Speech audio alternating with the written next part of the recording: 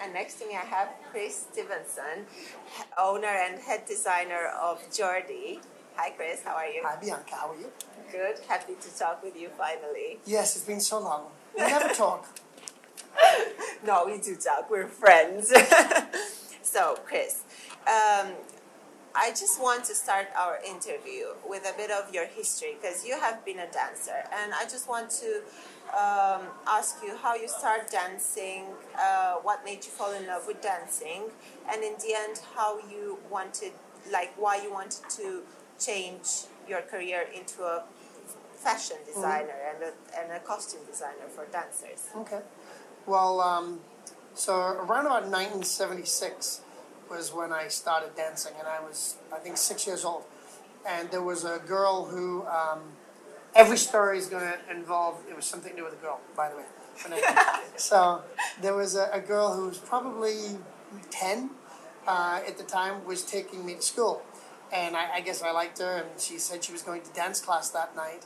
And I, uh, I asked if I could go, and she said, um, "Well, you got to ask your mom and dad first. So I did. I asked them. They said I could go. So I went to dance class, and um, there was like five boys and ten girls, and I thought, "Hmm, cool, and uh, and that's how I started dancing. And then um, that was in the northeast of England, and I I danced all the way through until I eventually retired in 2001 properly. Um, I started sewing when I was 16, and I was uh, dancing with a girl called Leslie Marsh, and I was living in her parents' house not far from Liverpool. And it was the 80s, it was England, there was nothing on TV, and uh, Leslie was at school, her mom and dad were working, and her mom had a sewing machine. And I thought to myself, oh, okay, I had a, a cat suit Yeah. that uh, John Lyons, if you ever get to watch this, you helped, even though you might not know that you did. Um, he was the guy who'd made the cat suit for me. And um, I thought to myself, oh, I'm sure I could do that. I was wrong. I couldn't, but I thought I could. So I took it to pieces, and then I put it back together again.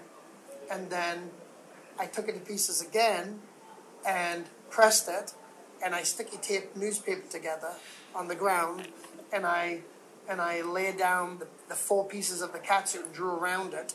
Yeah. Put the original one back together and kind of put that to one side, and now I had a pattern, my first ever Exactly, pattern. yeah, And then I bought some lycra, and I started. And then at that point, I was really um, a little obsessed and fascinated with the construction of clothes. I really liked it. My dad was a bricklayer, and um, I still, to this day, really enjoy the idea of being able to make um, a costume out of nothing, you know, out of just fabric. And, uh, it, you know, so I enjoy designing, but I really, really, really enjoyed the construction of the costumes. I understand. And um, when you start your company, Jordy, um, obviously behind the name, it's a huge emotional uh, baggage, I would say. Could you please share share it with us as well? Like the name, I know you're from uh, Newcastle and all that. Could you please tell us a bit of? Well, you know, uh, Bianca, in, I'm not sure about Romania, but in, in England, still to this day, it's a very sort of uh, a very class uh, st- strict uh, society. So there's working classes, middle classes, upper class, you know. And when you come from the town wh- where I come from, very similar to the movie Billy Elliot. You know, it's very gray, it's coal mining town, that type of thing. Uh, it's a very, very, very working class town. And if you come from that town, that area, you're actually called a Geordie. So somebody from London would be called a Cockney, somebody from Liverpool would be a Scouser. If you're from uh, Newcastle, you or that area, you're called a Geordie. And it's a very working class thing. And what I experienced was people would leave that area and try to pretend to be something they weren't. Change how they speak, change how they act. And I never wanted that to happen. I'm very, very proud of being a Geordie. And um, I'm proud of being working class. And um, so I, I said, well, I'll call the company Jordy. That way, if ever I have any success, I'll always keep my feet on the ground and remember where I'm from. I changed the spelling because it should have been G E O R D I E, but it's too many letters. So I just kind of frenetically changed it to Jordy with a J. it looks nice on the clothes, and the rest is history. So. And about, about the crest, about the patch that we see on uh, on the world champions uh, Yeah. costumes. Well, um, again, that's a very personal thing. Everything about that I do with Jordy, um, how I work it. My son is here working with me. Um, the name, the crest, everything is personal, and and a lot of thought went into everything. Uh, I'm kind of obsessive, so I obsess about a lot of things. I obsess about the crest. So, uh, what happened was one of my competitors in the United States kind of ripped off my old logo, which was very simple and straightforward, and they just basically took it and wrote their name on it. So that kind of pissed me off a little bit. So I was Whoa. like, um, okay, I'll come, I'll come up with something that they can't copy. And you know, I'm proud of being British, so I thought, what's more British than a, a crest or a crown? It's very regal. So I started looking into um, how to develop that. It took about two years. We did lots of different versions of it, but if you look on the top left, um, it's got mine and my wife's initials. We started the company together. And underneath that, you have uh, St. George's Cross, which is the English flag. To the right side of the crest, you have the black and white stripes, which is Newcastle United, the best worst football team in the world. Um, I, I, they're my soccer team. Yeah. And um, around the outside is, um, in Latin, it means he who dares wins. It's from the SAS in England, a, a, a elite fighting squad. And it, um, it deals with the competitive nature of what we do. He who dares wins. Yeah, so you've got to be in it to win it, sort of thing. And the bottom part, Sic Luceat Lux Vestra in Latin, is from my Catholic school that I went to. It means let your light shine. Uh, I think it deals with the artistic nature of what we do. The squiggles on the outside are from the Stephenson family crest. And then when you put a little crown on top of any crest, it means honor. And that's how we came up with it. Wow, amazing story. I love that. I love symbols, and I love that uh, you you made you create something from such a rich history of yours, and you created everything which symbolizes you. And Yeah, everything, I, I want to make a difference uh, in what it is that we're doing, uh, what I'm doing with my life somehow. And I definitely want everything that we do with Jordy to be um, thought out and not just be for the sake of it. I wanted to. So when we, we came and, and did this at Blackpool, um, you know, I didn't want to just be another vendor at Blackpool. I wanted to be the vendor at Blackpool. yeah, And um, I can honestly say, I think in five years we, we've accomplished that. You know? yes, it's a, it's one of the most amazing booths. Honestly, Only It's- one of the most amazing booths. It's the Only it's one of the booth. Is that going to get edited booth. out? That's disgusting. Only, I'm out of here with. Okay, okay. no, he's staying. He's staying. yeah, no, it, it is. I mean, it's a lot of work put into it, and everything is so luxurious, and it creates uh, a sense of respect. I hope so. Yes, yes, I, I promise you. and um, right, I would like to talk about uh, a bit about how you create designs because you have a team. Uh-huh. Um, and you also uh, design, um, obviously, costumes for the world champions Riccardo and Yulia and uh, Andra Nino, Mhm. which are amazing dancers, all of them. Um, and they have, they're very professional people. Mhm. How is it to create costumes for such big events like Blackpool or the International or Actually, it's all the same. So um, the process that you go through with with um, Riccardo and Yulia, with Nino and Andra, it's definitely um, a collaboration. I know with Yulia, um, uh, the, the, there's a wonderful uh, designer, Espen Salberg. He's their teacher. He's he, um, he has, comes up with great ideas for Yulia. Uh, Riccardo, um, we kind of talk together about those kind of things.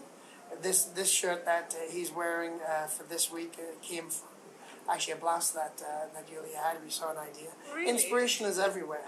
Um, Wow. Sometimes you know with Andra, she'll see. Oh, even with Yulia too. You know, see something in a magazine. It was, oh, what do you think about this? What do you think about that?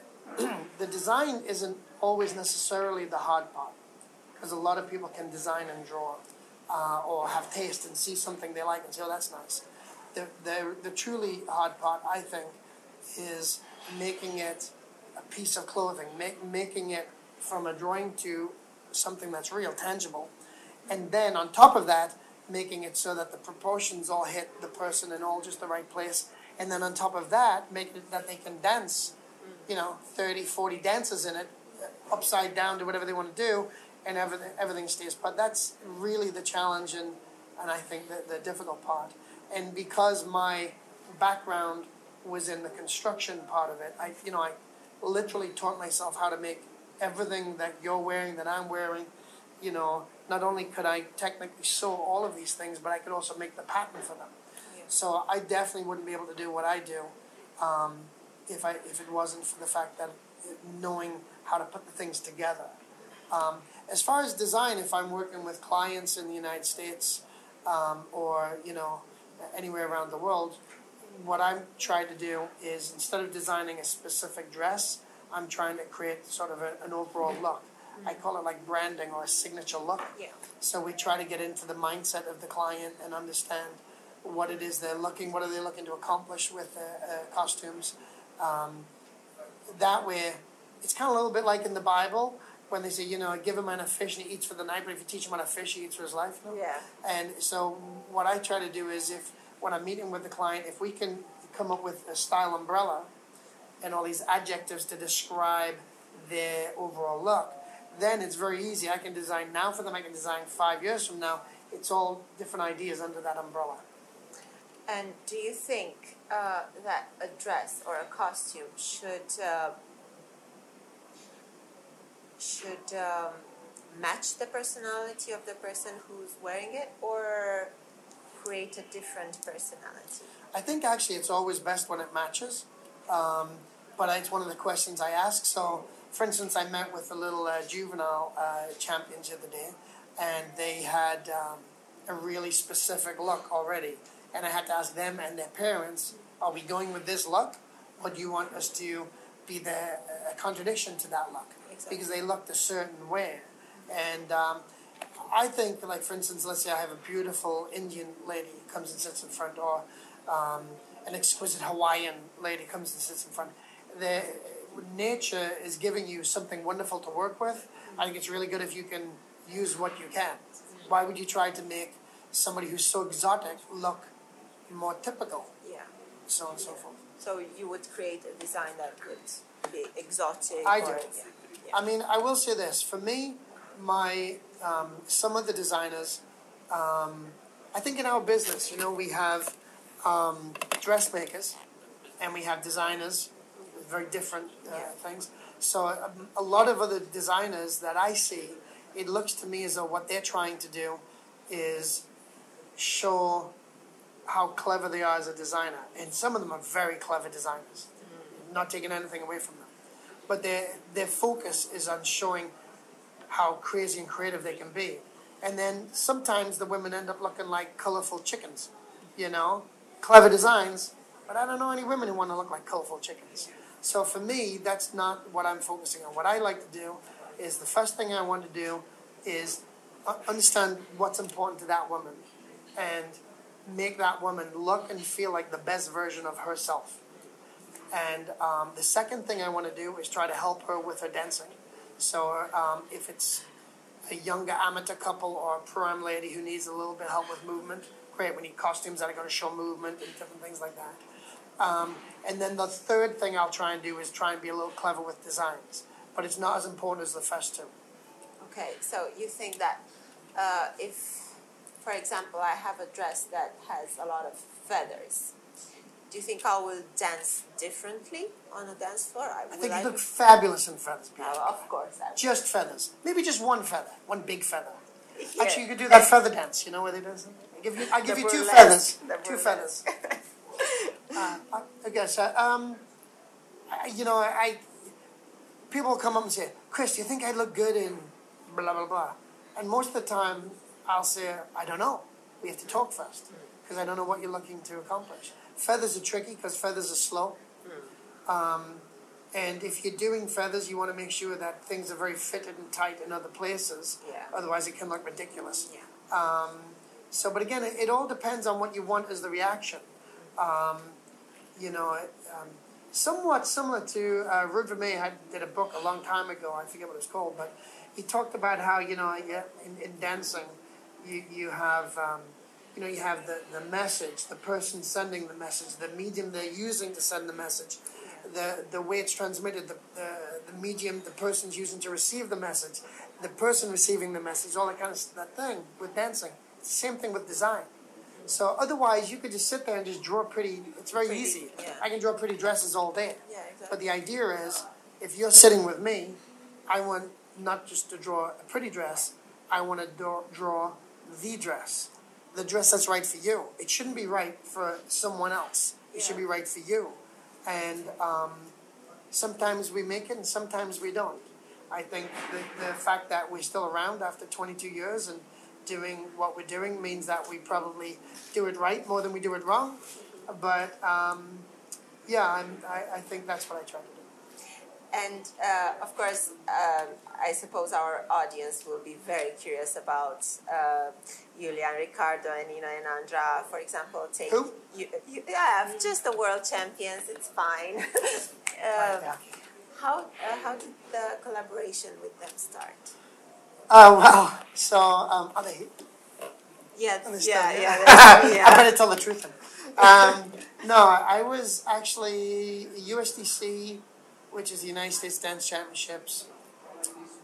Actually, I go a little bit behind that. So, I started the business in uh, 22 years ago, and I want to say 12 years ago, something like that. We found out that um, a lot of our staff were stealing from us and doing a lot of unscrupulous things. So we had to let everybody go. And it was really just the three of us left. And we moved back into our house. So we'd been in business a while and we'd sort of built up and then we, we moved back into the house because we had smaller staff. It was we were surviving. yeah. And we had a particularly stressful uh, year. And then on top of that, my wife was pregnant with our fourth child. It was a lot of stress. And um, we sort of survived that. And then after that period, we, we kept small, you know, because we had a little scar tissue from the, the things that people had done. So we stayed small. We had, didn't have a lot of money. Clients were happy, and I was just doing all the sewing again. And, and um, my dad was uh, ill with Alzheimer's, and uh, he was very young, but he had Alzheimer's, and he um, he he died. And he when he was getting ready to die, um, we literally we didn't have enough money for me to both be there for him to die and to stay there for him, for the funeral. I had to choose. So I chose I my the end of my relationship with my dad um, was over the phone, and I was there for the funeral. So I went to the funeral. I was very overweight. I was probably depressed, and and of course I was depressed. I was at my dad's funeral, and I looked at my dad in the coffin, and I had a vision. Like it just it was a message. It was like my dad was screaming at me from the coffin, and he's like, "What are you afraid of?" And I said, "What am I afraid of?" Okay, so people had screwed me over, so, and uh, it changed my life in, in that moment. And I came back from there. I lost like 50 pounds of weight in three months. I moved the business out of the house in March, back into a location again. That was in March. In October of that year, I was at USDC and I was talking to a friend of mine, Dan Rutherford, who's very good friends with Riccardo and Yulia. And we were watching Riccardo and Yulia dance in the semifinal. And I noticed they didn't have a tag on their arm. And I said, huh, who, do, who are they sponsored by? And he said, actually, they're not sponsored by anybody. And he turned around to continue talking to me. I'd already left. and I went to the dressing room and I waited until they finished their jive. And I'd never really spoken to Riccardo before. I'd spoken to Yulia uh, many times. And I, he was still panting, still out of breath. And I said, Hi, Riccardo, I'm Chris Stephenson, I own Jordy. And I would cut off my right arm uh, to sponsor you. What do I have to do? And he said, Oh, that's so nice. Typical Riccardo. He was so lovely. And he said, um, Can we talk tomorrow? And I'm like, Yeah, definitely. So um, that was in September. By the time November came, Ohio Star Ball, it was the first competition that um, we were dressing Riccardo and Yulia. And um, we've been together ever since. They've changed my life.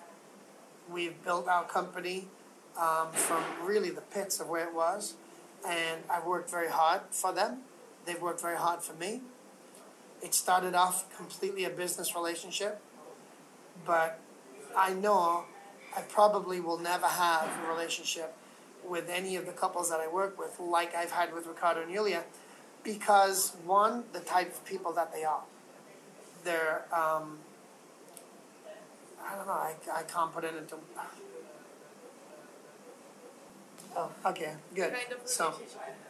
well, um, yeah, I don't, I don't quite know how to put it into words what they mean to me. Um, it's been, you know, it's been exhausting, you know. But they had, everybody has tried to take them from us. And um, they're, the, they're the most loyal, loving, professional, um, wonderful uh, people and dancers that I could ever hope to meet. And I've made plenty of mistakes since um, working with them. And they've never lost their temper, lost their patience. They want what they want. That's why they're the world champions. And I, they, I think they know from me that I give them every ounce of what I can give them. Um, I've missed family events for them. I've I can't. I mean, I don't know. Like, if it's if it's possible for me to do it and it's legal, I'll do it for them because they they transformed my life. My life was going nowhere. I was lost, and um, they've allowed me to help them, and in return have helped me so much that I can never repay them. And I I know I'll never have that relationship because even if I find the next wonderful, beautiful people that, and I hope I do, moving forward, my life is different now than what it was back then. My dad had just died. I, I just turned the company around, and um, you know they they should have left me years ago, and they never did. It's yeah. I mean, I understand having the right people, and uh, even in this world of dance, um, each of us we feel like family, uh, uh, like dancers, competitors between them. We create this big family because we share the same passion, Mm.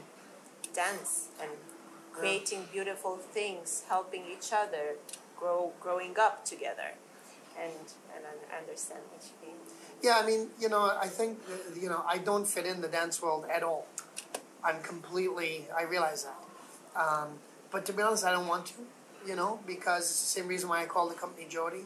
I it's a it's a it's a business that's very high on image, and it's funny because I'm in the costume business, which is all image, but I think image without substance is is ridiculous, and I don't want it to be that, and I don't ever want to pretend to be middle class is something I'm not. I'm not. I, I'm a simple guy, but I do think I'm um, talented. I have a few talents, um, and I'm a hard worker. I got that from my dad and my mom, my mom of course. But um, my dad was super hard worker, and um, we, for me, the people that really matter to me in this industry, uh, they're the ones that are authentic and real, and and everybody else who wants to be phony and all that kind of stuff, I'm not really into it. So I don't get too um, uh, worked up uh, when people say nice things about me, and therefore I don't have to get too too upset when people say not nice things. I try to not let it bother me too much. Yeah, it and in this world it happens quite a lot. Well, yeah, of course. When you you know when you come and you do things the way we do it, we do we do things quite big, um, you know, and obviously you put a big target on your back, but um, you know haters are gonna hate and lovers are gonna love. So I, we have a lot more lovers than we have haters, and uh, I really love it. I like working with the little kids the other day was, was really wonderful, and then of course you have them, and then you have Rick and Yulia. you know, you have and everybody in between. Am ladies in, in America, my God, thank you, all of you. You you you feed us. You know, you're, you're the reason why we have Jordy actually is because of them. Um, America has been so amazing to me and um, and my children, and uh, it's just. I mean, I came to America with three hundred dollars, and that was given to me by my mom and dad who had borrowed it from somebody else. So it was like really, you know, it was tough, and we didn't uh, we didn't really have anywhere to live. I think, yeah, we, we stayed in this this little hotel where prostitutes and druggies were using and stuff like that in New York City back in '93, and you know, we've come a long way. And um, going a bit further from the emotional side, because I don't think I can handle it. um, um, my curiosity would be, uh, which is your favorite Yulia's dress? If you Oh can my pinpoint God. one. Ah, is she listening? Is she? She? Did Yulia leave? Yeah. Oh, Uh, I don't know which is, would be hers. I would have asked. Um, the next one. the next one. Yeah. Can you uh, please explain the story behind it? It hasn't it hasn't begun yet. The next one. Oh, the next one. I understand. I hope there's always a next one.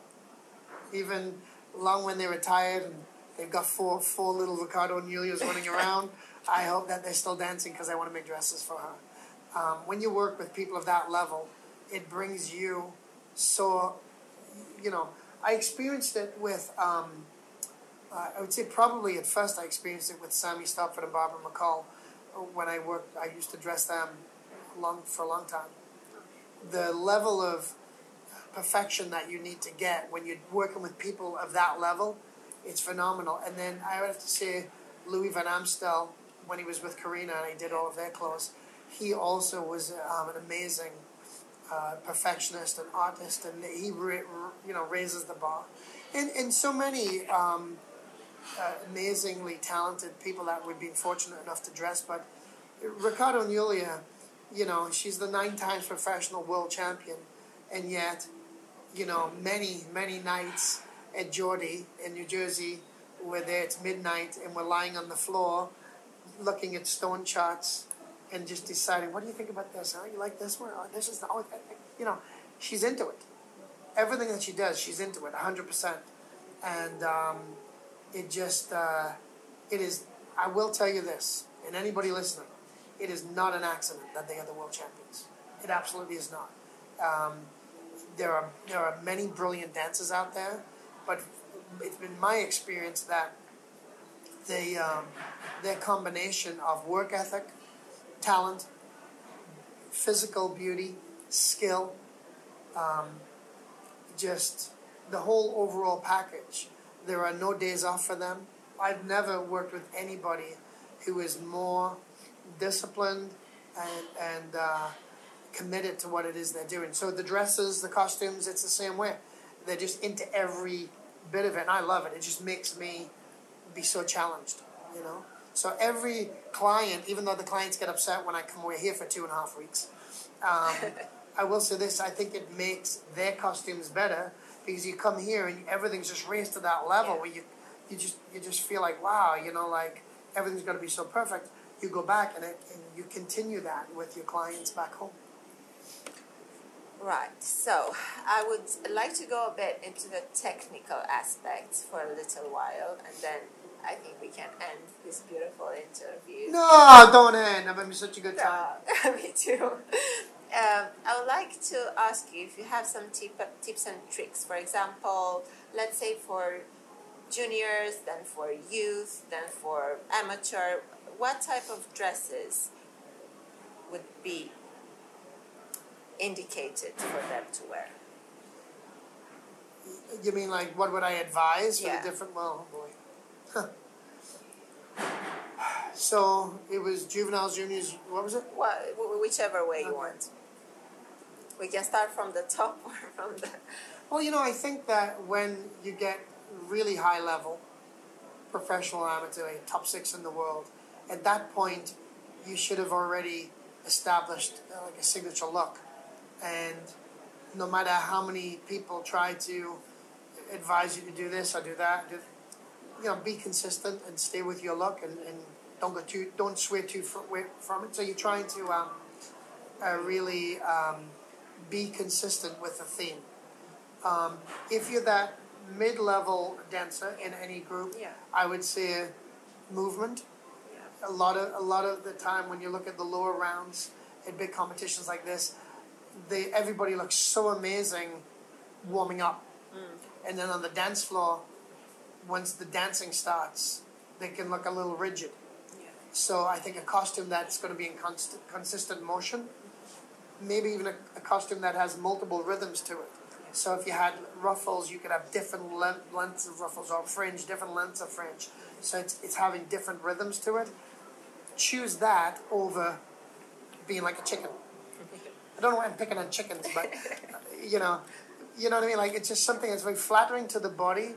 You know, a, a woman is very complicated. You know, and every woman's different. So you gotta, even if you're 20, 14, or 35 or 72, um, and we design for all those ages.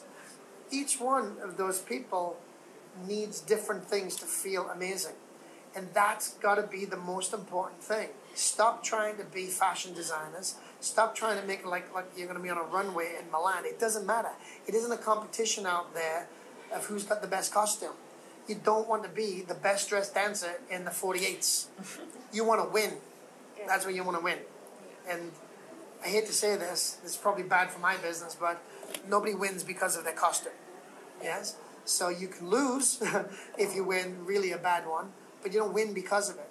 So I would say be clever at your own risk, but stick to what's going to make you look and feel your best, no matter what level you're at, and what's going to help your dancing, especially if you're not quite there yet. That should be very, very important. And also, another good thing is, um, let's say, for instance, um, you're um, you're coming to the international Blackpool, UK, something like that. Well, you don't have a Latin panel of adjudicators if you're dancing Latin. You have standard and Latin dances. So I think that sometimes, particularly with those kind of competitions, it's it's good to be something a little bit more traditional because it's something that all people can appreciate. But I'm going to contradict myself now because you really should never try to either choose a dress or design a dress to please other people. You should focus on yourself. But be take chances with caution would be my advice. I like that. It's very true.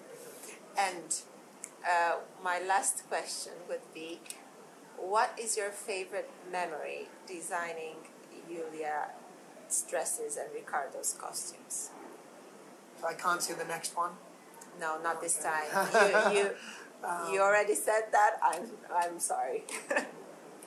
I uh, actually, the very first World Championships that I ever made their clothes for uh, was in Innsbruck. I think seven or eight years ago, and they had won.